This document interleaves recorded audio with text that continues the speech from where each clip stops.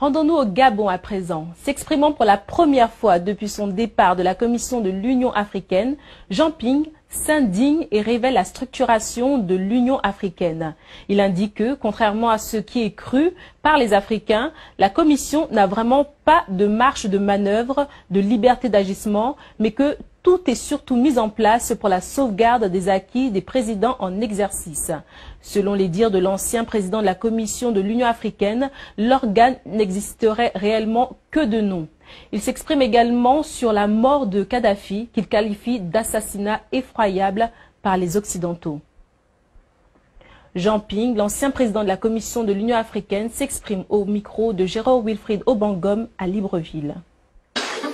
L'organisation qui a été mise en place, l'Union africaine, est une organisation qui a à son sommet les chefs d'État et de gouvernement, qui tiennent tous à leur souveraineté.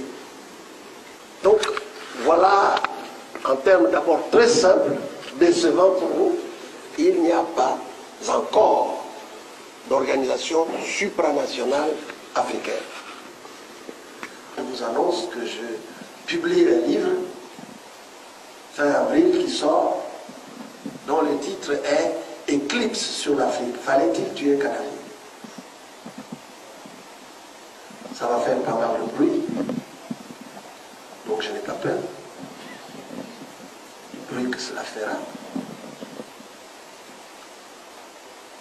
Je pense que l'Occident a commis une erreur.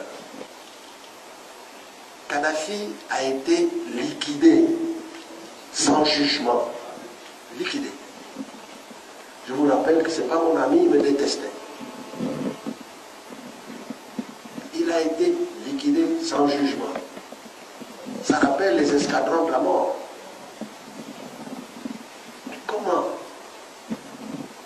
des nations dites civilisées, humanistes, peuvent commettre un tel acte? Comment ils vont justifier ça dans l'histoire?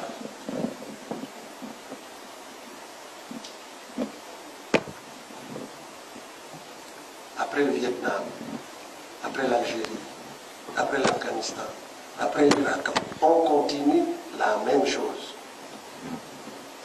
C'est que vous ne voulez pas tirer les leçons de l'histoire. On a attaqué Kadhafi sur la base de 300 morts on a utilisé le principe de la responsabilité de protéger sur la base de 300 morts.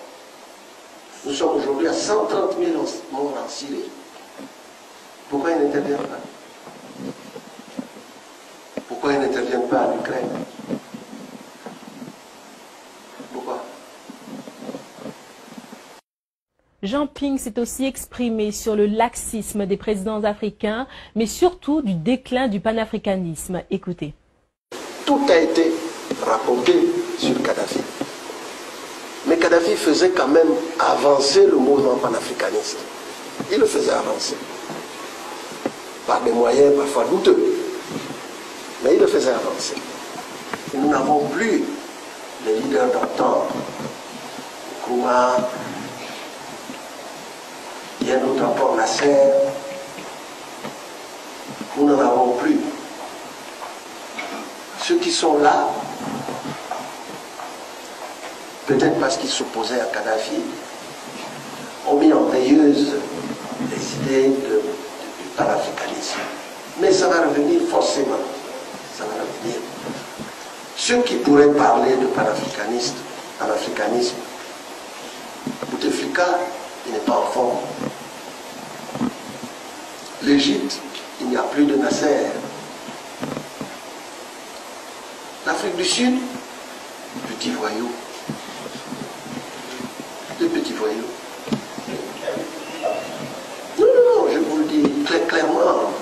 Je ne veux pas critiquer, d'ailleurs dans mon livre je ne les critique pas, mais des petits voyous. Ceux qui s'inquiètent de la Chine ont d'autres raisons.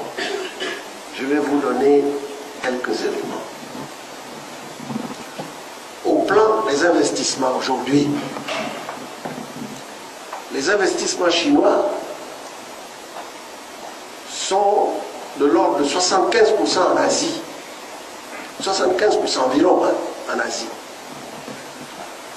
De l'ordre de 13% en Amérique du Nord. Et de l'ordre de, je crois, 2,6 à 7% en Europe.